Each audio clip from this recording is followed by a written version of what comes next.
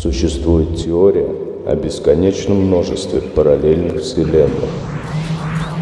Все возможные реальности образуют сеть из бесчисленных вариантов событий. И в одном из таких миров произошло нечто. нечто, нечто.